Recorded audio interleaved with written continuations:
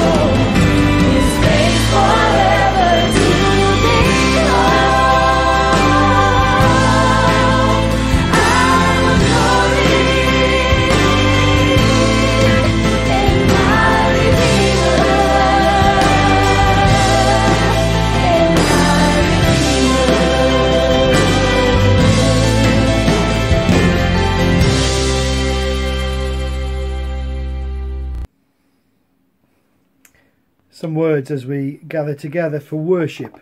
The Lord is compassionate and gracious, slow to anger, abounding in love. He will not always accuse, nor will he harbour his anger forever. He does not treat us as our sins deserve, or repay us according to our iniquities. For as high as the heavens are above the earth, so great is his love for those who fear him. As far as the east is from the west, so far has he removed our transgressions from us. As a father has compassion on his children, so the Lord has compassion on those who fear him. For he knows how we are, ma- how we are formed. He remembers that we are dust. As for man, his days are like the grass. He flourishes like a flower of the field. The wind blows over it, and it is gone, and its place remembers it no more. But from everlasting to everlasting, the Lord's love is with those who fear him, and his righteousness with their children's children, and with those who keep his covenant and remember to obey his precepts. Let's pray as we come together, our loving Heavenly Father, compassionate and gracious, abounding in love, we worship you. The one who doesn't treat us as our sins deserve, the one who has removed our sins from us as far as the east is from the west. May our worship be acceptable to you, we pray, for the glory of your name. Amen. Let's sing together, Love Before the Dawn of Time. Now, if you'd like to turn in your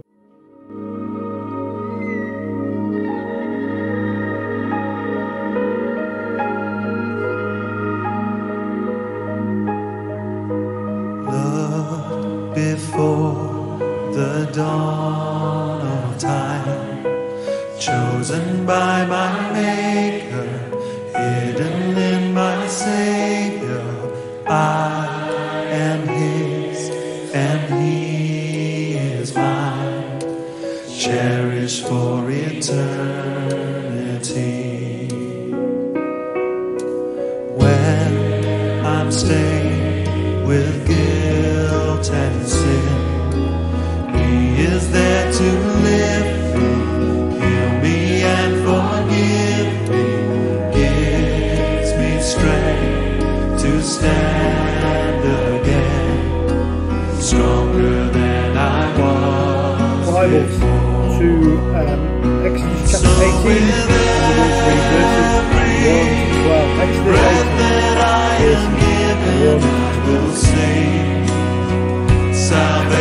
And the priest of Midian and father in law of Moses, heard of everything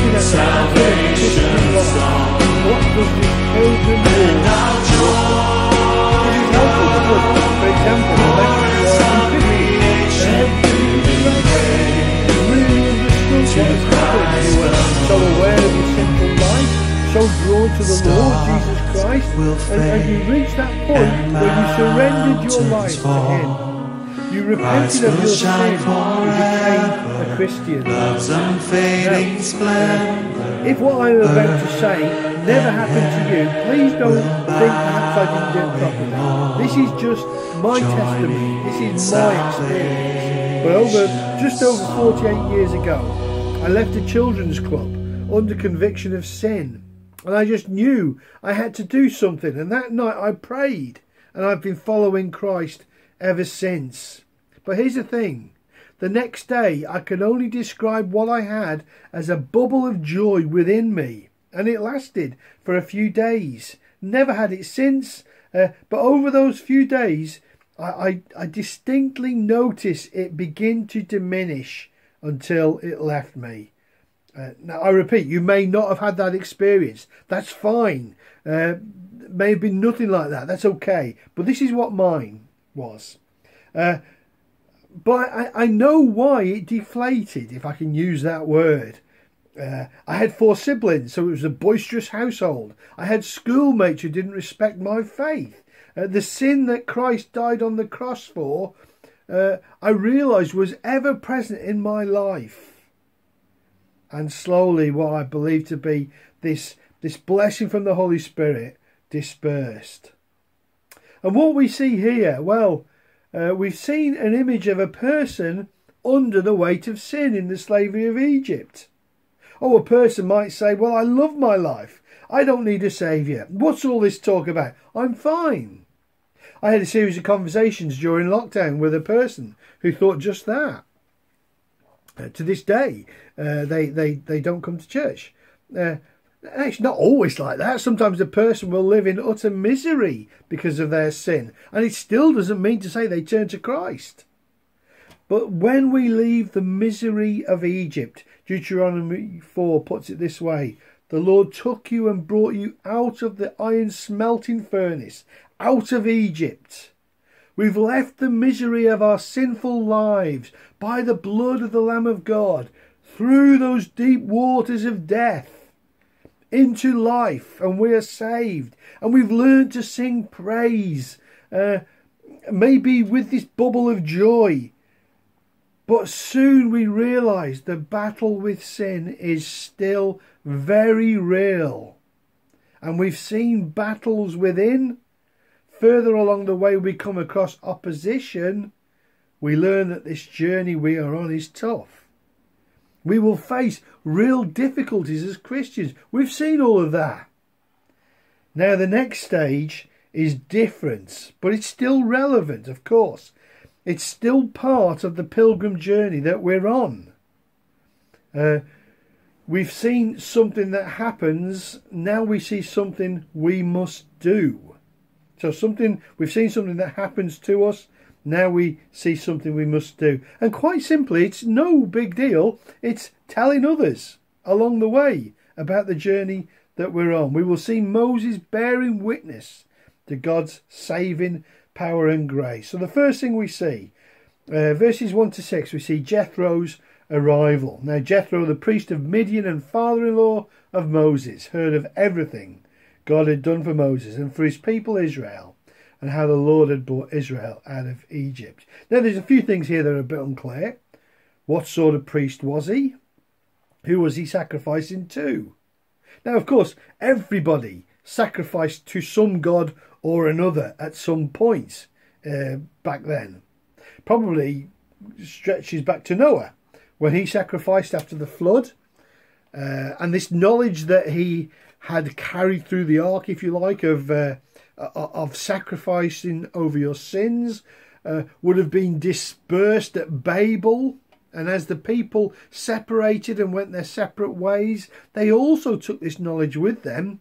And over time it was twisted, uh, and they ended up worshipping all sorts of made up gods and sacrificing to them. And Midian, uh, uh, beg pardon, Jethro is part of that. But as we read through the Old Testament, uh, we will soon realize that Midianites are no friends of Israel. So, what's going on here? Well, I think we see here is what happens when a person comes to faith, or at the very least, when a person begins the journey. The Bible doesn't outrightly tell us as to Je- Jethro's spiritual status before God, but we have a few big clues, and, and actually, maybe I think we can be more positive than I've just said.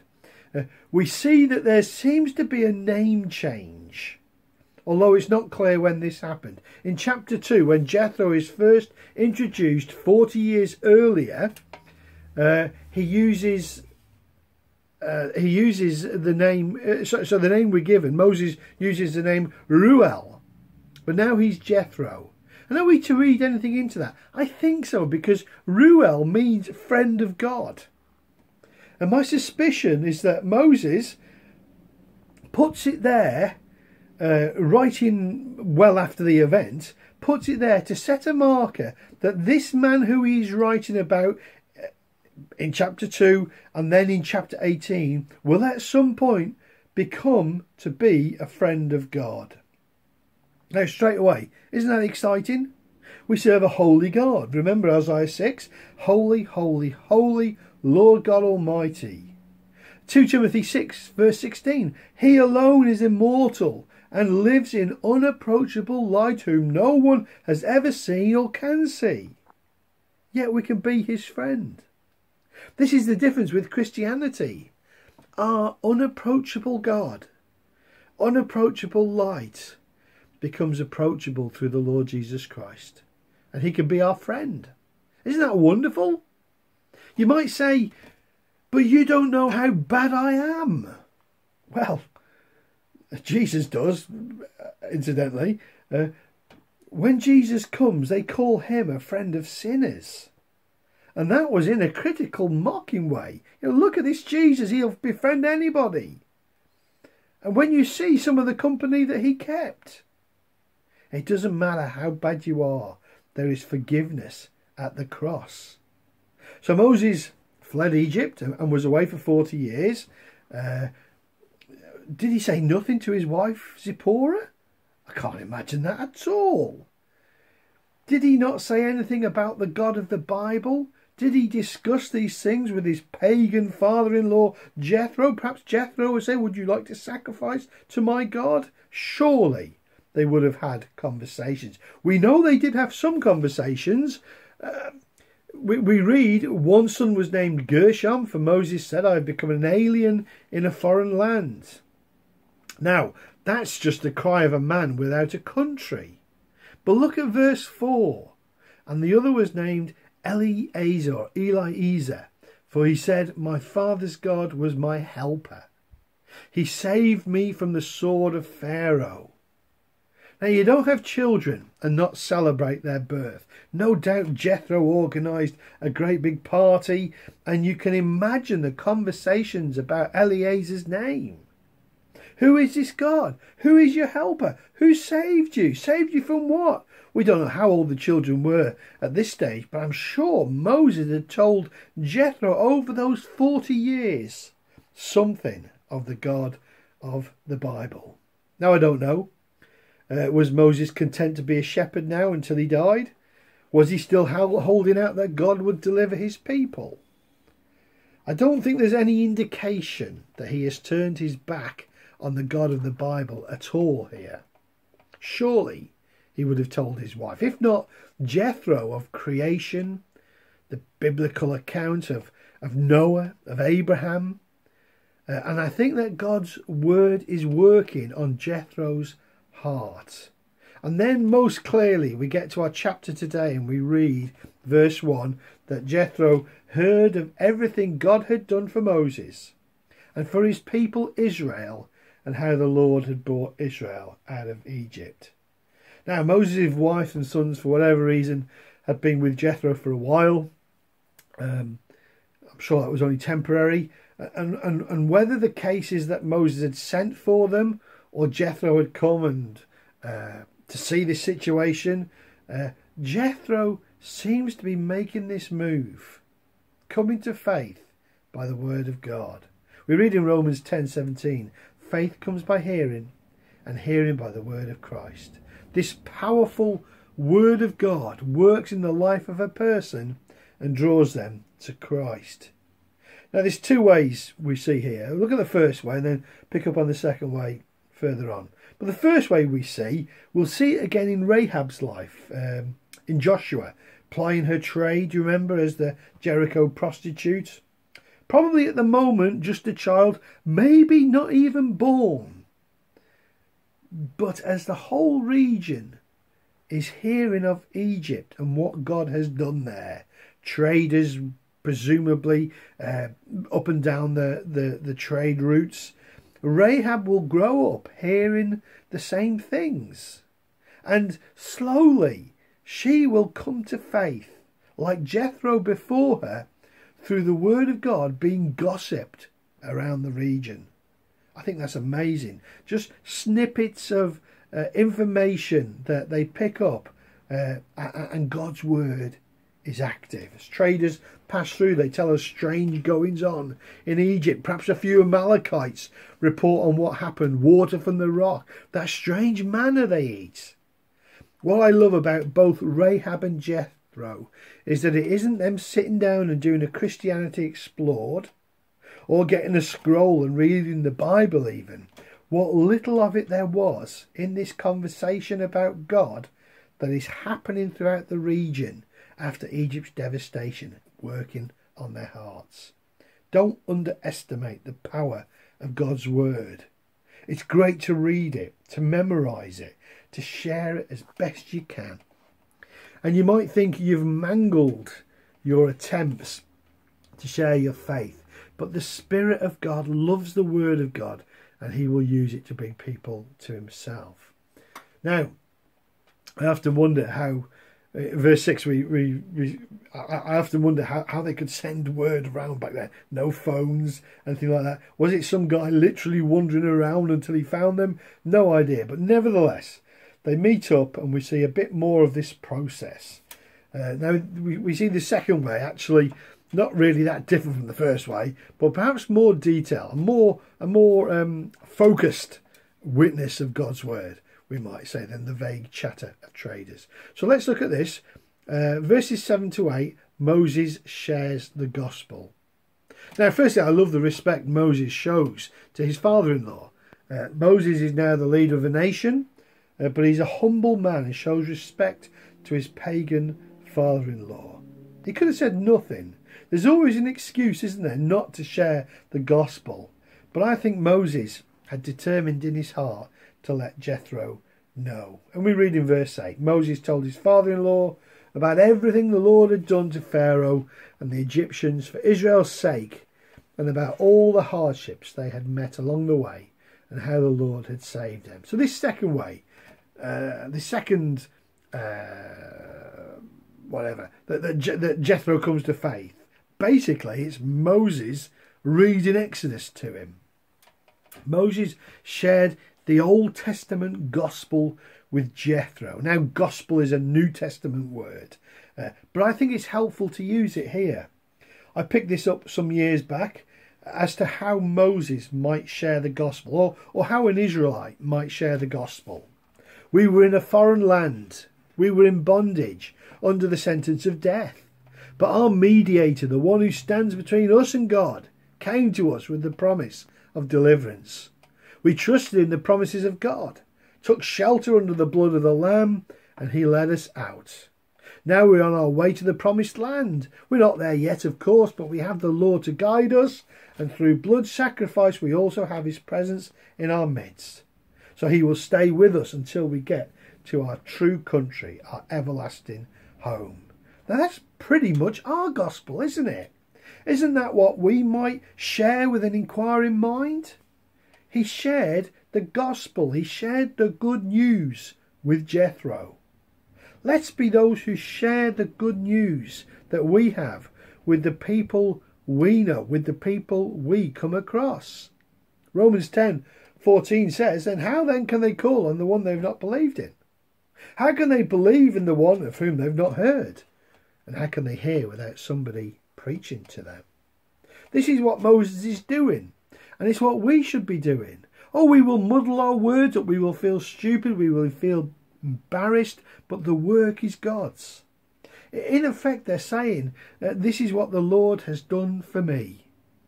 I love. Um, I love what has been said of evangelism, of sharing our faith, um, how it is one man telling another where to find bread. Let's share the gospel. And then what do we see the result is in verses 9 to 12? We see in verse 9 Jethro was delighted to hear about all the good things the Lord had done for Israel in rescuing them from the hand of the Egyptians. Now, at this point, I'm reminded of a response I've heard before. I remembered this couple who, who said once, We admire your faith. Now, um, I have no idea where this couple are today, either physically or spiritually. No idea. Uh, they might just as well be out there admiring a Sikh's faith, or a Muslim's faith, or an Amalekite, or a Canaanite's faith. I admire your faith. Means nothing. Being delighted in the gospel, admiring somebody's faith, doesn't mean a thing unless you act upon it. Being interested, admiring somebody's faith is nice and sounds respectful, but at the end of the day, if it stays that way, it's worthless. I would argue that to say you're delighted in somebody's faith in God but do nothing about it, it means that you haven't understood it at all. What we see in Jethro, however, is an acknowledgement that this faith is true. He believes the message, and this is what we see here in verse 10 Praise be to the Lord who rescued you from the hand of the Egyptians and the Pharaoh, and who rescued the people from the hand of the Egyptians. He's delighting in it.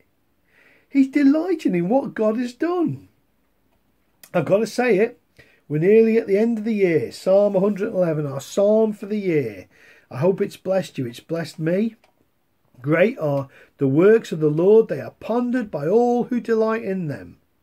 That's what Jethro is doing about 400 years before this psalm is written down.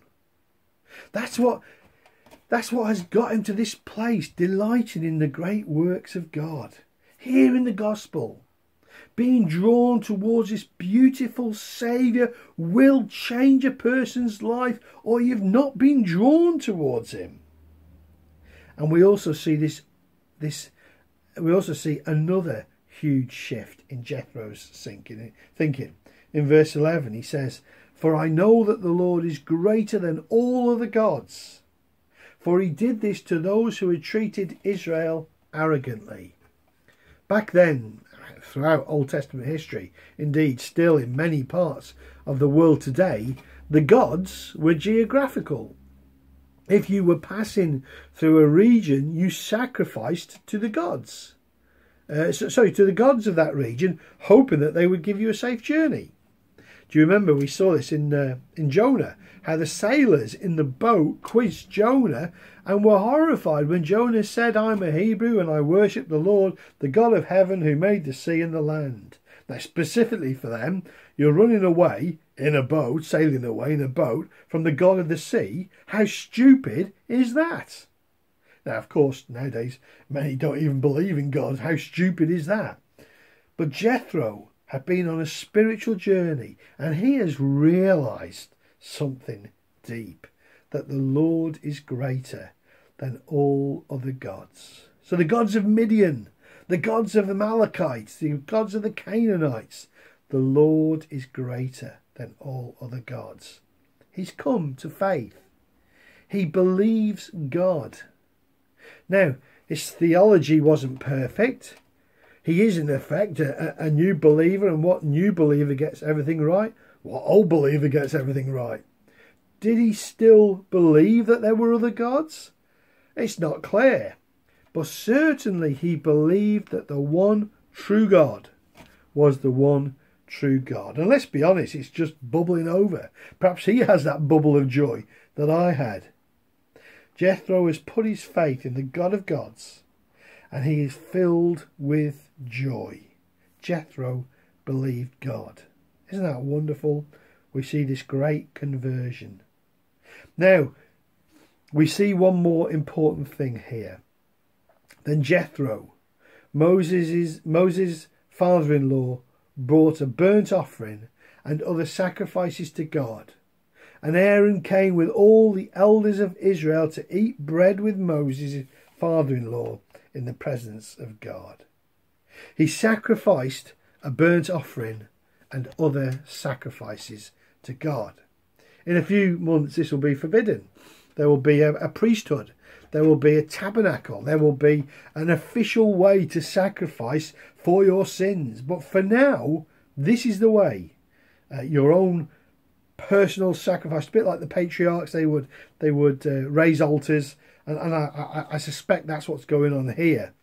Uh, and the sacrifice was to cover over the sins that Jethro had committed, and I presume all the others who were with him. Um, later on, we read in Hebrews 9, verse 22, that the law requires that nearly everything be cleansed with blood, and without the shedding of blood, there is no forgiveness. Blood is messy, sticky.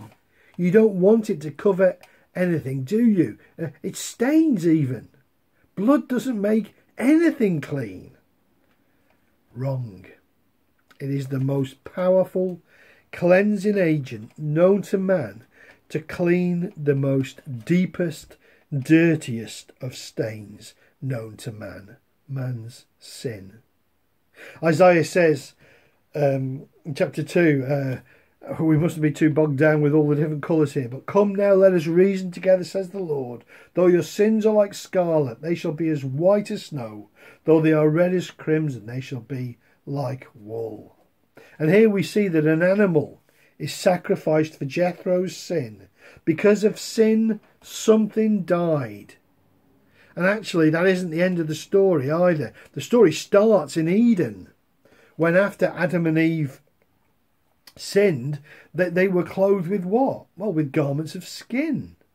Now, God could have made skin garments out of the dust of the ground, uh, just like that, but I don't believe He did. The pattern throughout the Old Testament that because of sin, something has to die. An animal died because of their sin, and they were clothed in that animal's skin. It was a substitute for the sin that they had committed. I wonder if a thoughtful priest throughout the years, throughout the millennia, thought to himself, this doesn't make sense. Oh, he carried on because that's the way that God has led, but surely some would think, how can a lamb cover my sin?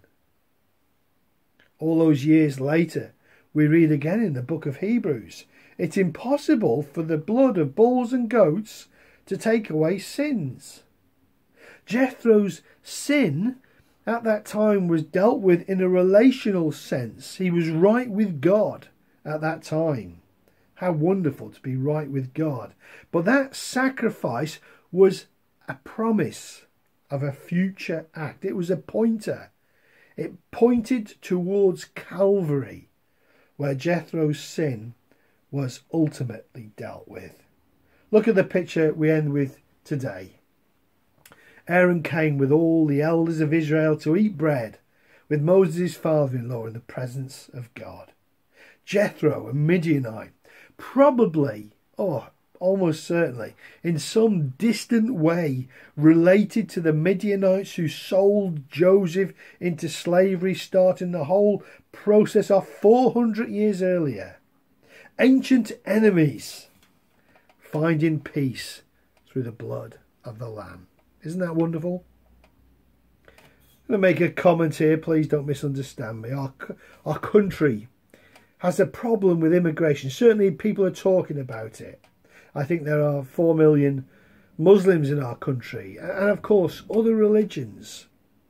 Now, this is the thing we can see that as a threat, or we can rejoice in the opportunity and pray that many too will come to know Christ like Jethro. And on that last day, stand together before the throne of the Lamb, the throne of our God, and worship. Let's pray.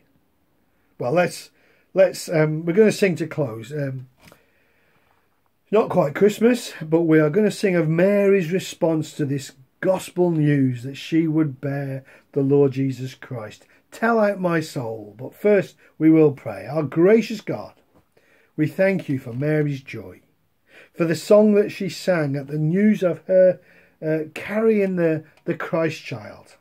What good news! What a gospel we have. May we share this wonderful news with those across our land who don't know it, with those we meet day by day. We pray that the word of God would reap a great harvest in our nation. And now may this glorious gospel burn within our hearts. May your good spirit embolden us to share the joy that we have of sins forgiven this day because of the Lamb. For the glory of your name we pray. Amen.